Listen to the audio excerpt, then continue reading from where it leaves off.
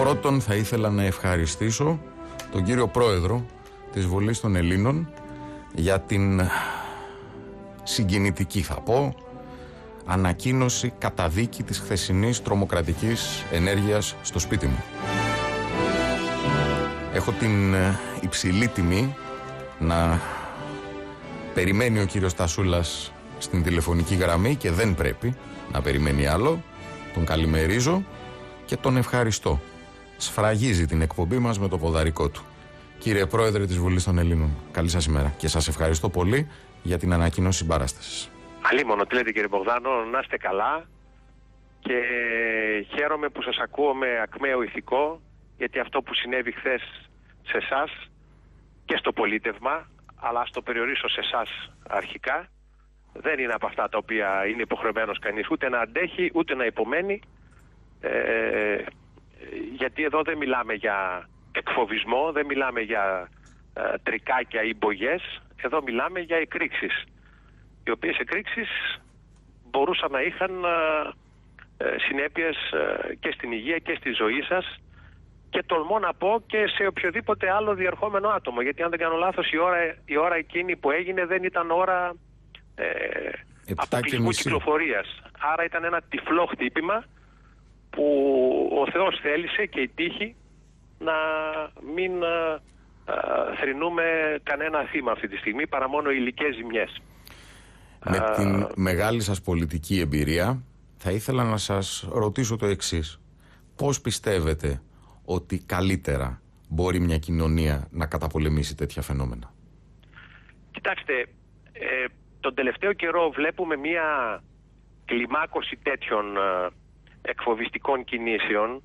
Ε, βλέπουμε σε βουλευτές ε, της Βορείου Ελλάδος περισσότερο, τυχαίο είναι αυτό βέβαια, ε, επιθέσεις στα γραφεία τους, στους χώρους τους, αλλά η κλιμάκωση, η, η εκρηκτική κλιμάκωση, αν μου επιτρέπετε η έκφραση, η χθεσινή, είναι άλλη τάξιο ζήτημα πλέον και φαίνεται πως ε, το πράγμα αγριεύει.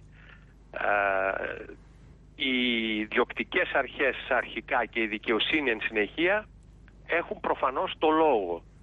Ε, όσο πιο γρήγορα διελευκανθεί αυτή η αποτρόπαιη πράξη, και όσο πιο αυστηρή είναι η τιμωρία τους, ε, τόσο πιο αποτρεπτικά θα λειτουργήσει αυτό. Ε, και είχα, είχα την ε, διάκριση κάνει στην αρχή της ομιλίας μας ανάμεσα στη δοκιμασία την προσωπική και στη δοκιμασία του πολιτεύματος. θέλουμε δεν θέλουμε, αυτή τη στιγμή κύριε Μπογδάνο, η πιο βασική διάταξη του συντάγματος, γι' αυτό βρίσκεται και στο πρώτο άρθρο, είναι η διάταξη που δεν αναθεωρείται, δεν αλλάζει δηλαδή, που αφορά το θεμέλιο του πολιτεύματος που είναι η λαϊκή κυριαρχία. Και στο αντιπροσωπευτικό σύστημα η λαϊκή κυριαρχία εκφράζεται μέσω των βουλευτών.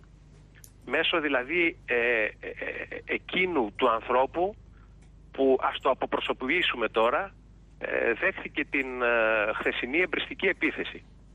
Άρα εδώ πέρα χωρίς να είμαστε ούτε υπερβολικοί ούτε μελοδραματικοί ε, θεωρούμε ότι είναι επίθεση πέραν του προσωπικού και δεν θέλω να ε, μειώσω το προσωπικό αυτή τη στιγμή είναι επίθεση κατά του θεμέλιου του πολιτεύματος, κατά της λαϊκής κυριαρχίας. Είναι επίθεση εναντίον κάθε κοινοβουλευτικής ερώτησης που έχω καταθέσει και η οποία ενδεχομένως να προβληματίζει εκείνους που δεν θέλουν τις κοινωνίες να λειτουργούν ελεύθερα και αντιπροσωπευτικά. Και, και, και κυρίως να λειτουργούν με βάση τις αντιθέσεις και τις αντικρούσεις και των ερωτήσεών σας και των απόψεών σας που επιτρέπει το Σύνταγμα. Υπάρχουν αντικρούσεις αν είναι αυτός ο στόχος στις απόψεις Μπογδάνου, στις απόψεις ε, Τασούλα, στις απόψεις οποιοδήποτε. Για είναι κάθε διάλογος, ερώτηση. Είναι, είναι, είναι η ανταλλαγή επιχειρημάτων, είναι οι απαντήσεις, είναι η κριτική, είναι η σκληρή κριτική, αλλά δεν είναι οι εμπριστικοί μηχανισμοί, δεν είναι οι απόπειρες ε, δολοφονίας, δεν είναι η οποιασδήποτε μορφής βία.